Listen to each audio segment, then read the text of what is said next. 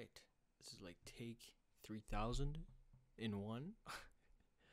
I'm just joking. Um I thought it was about time I just taught things that I learned. You know, throughout these past uh, three years of myself learning how to script. I think it's probably four years now. Yeah, I think it is four years. But you know, some people have been asking me to teach them how to script. I said, uh, hands are full. I don't want to do it.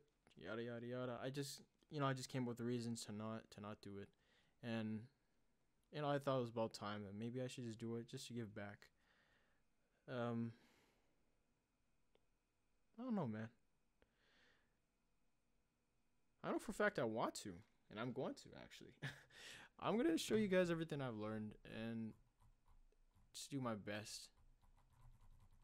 Try to build you guys up to be the ideal scripters you want to be. So, the first thing you got to do, obviously, you're on the home page. Where do you go to create a game?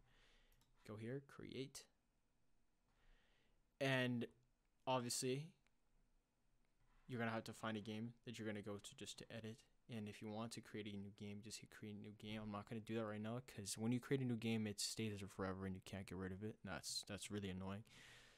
So you can just find your own game, and it usually, if you've never gone to a studio or whatever, no matter what, if you go here to create a game, you're gonna see something called your name, place, number, what whatever. Like right here, for example, Vedden's place number two uh two twenty eight, and then you can just go there to edit the game. In our case, we're gonna go here straight to Lua tutorial.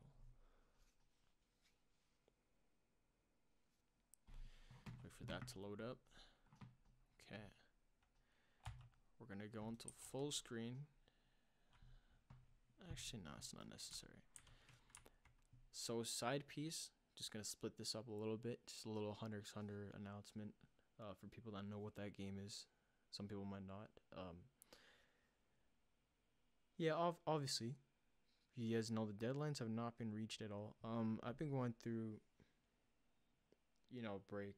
Um, I took at least like a, a week, week and a half off the game just to relax because I, I haven't had a break for, you know, like four months. I just been basically just working on the game without any time within, you know, just like resting phases. Uh, I'm glad I took it. And I don't know, brought new perspectives to myself and honestly, it's I've questioned myself a lot whether or not to just give up the, give up on the game and just continue on with something else. Uh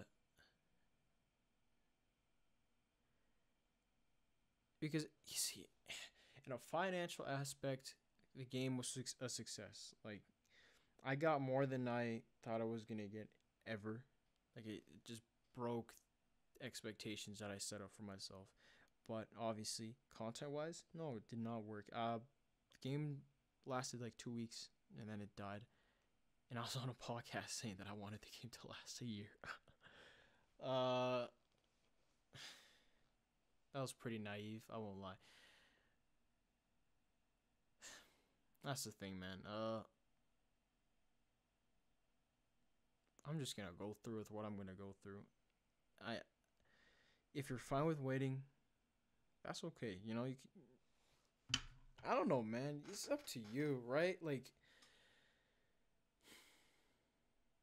I'm just gonna do what I gotta do. It's gonna come up when it comes out. To the best of my abilities. That's that's what I'll do. This update will take how long, however long it needs to take, whether it's another month or whatever. Um, I'm just not. I'm not gonna let this game die right here. Fully. Like like fully as in like die like I dropped the game or I'm not gonna let the game be discontinued. I'll just say that. Not anytime soon until these last few things are pushed out. Until then, I'm just gonna be gradually working on what I need to do and that's that's how that's how it's gonna go. Okay, all right. We're gonna get back to actual stuff you came here for. Learning how to script. So this one is pretty pretty basic episode. It's gonna be about studio navigation. Uh, you're in studio here. What do you do? Okay, there's a lot of information here that you're gonna have to take in. Because if you're new to this, you won't understand like what's going on. you really won't. So, obviously up here we can see most of the important tabs. Well, the stuff that you're going to need. So here, the option I currently have selected right now is select, which means I can just select items, yada yada yada. And then I could go here to move, which means I can actually move things around. So in this, in Roblox, there is three axes. There's the X, Y, and Z. Uh, blue is the Z axis, red is the X, Y is the up, uh, is the green one. You can just move objects up around like that based on that. And you can actually physically drag parts around. Sorry about that lagging a little bit. Uh, you can just drag things item like that. Do whatever you need to do. Uh, control Z to undo what you just did. You can just spam that or you could go up here.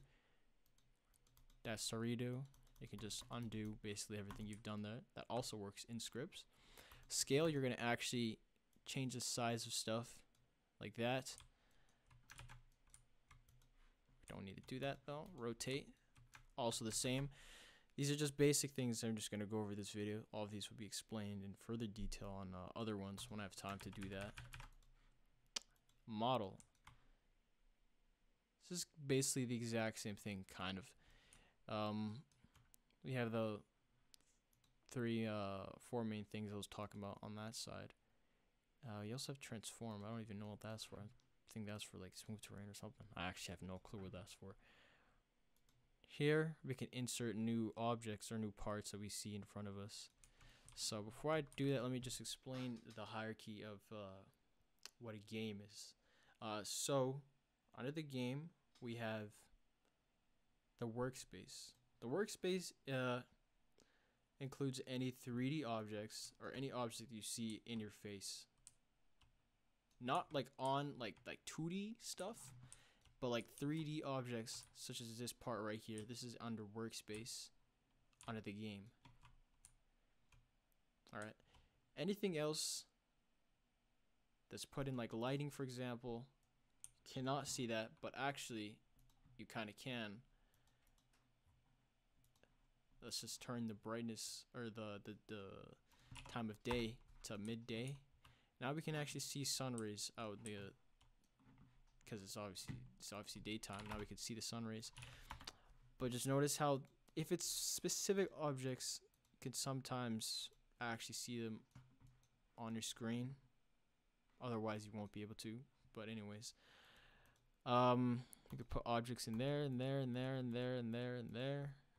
You still won't be able to see them. Uh, server script service I'll just go through all these actually. So replicated first is items that um, run immediately the moment you join the game.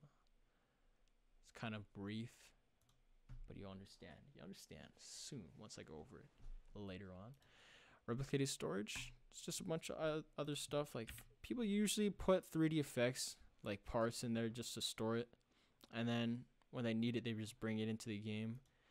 They usually do the same thing with server storage. Uh, server script is place where you actually like add in scripts and stuff like that. Yeah. See here, you can see all the kind of stuff that you're looking for. 3D objects. Looking at that. Look at this, this, and that. Okay.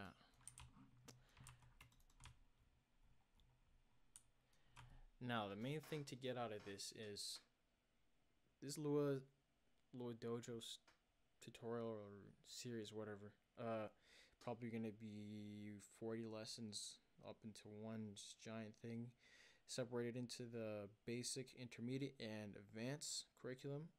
Uh, I'll leave the dis uh, the Discord for this in the description. I'll just put it on screen as well. Um, I don't know how often I'm gonna make episodes. But I do know the next one is going to be about properties. I think. Uh, da, da, da, let me check. Sorry.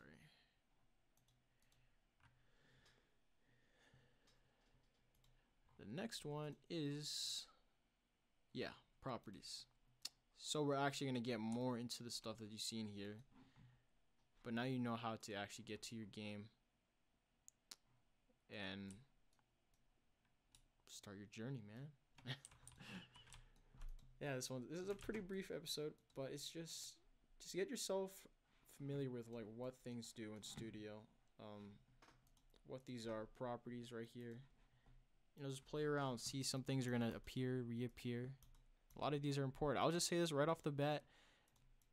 The ones that you're gonna need 95% of the time, you're gonna need Explorer open. You're gonna need properties open. You can just drag it like right underneath, kind of like that.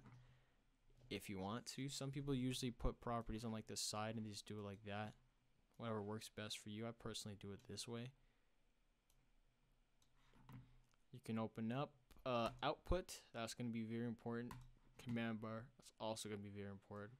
That's the main four things you're going to need for quite a while until you get more more into this stuff and you want to know what these things mean. Then we have plugins right here. So I'm going to end the episode off there. The next one is going to be about instancing and properties. is going to be more in depth and obviously more effort. is going to be put in that video. I'll say that for sure. Um, all right. I'll let you guys off with that. Have a good one.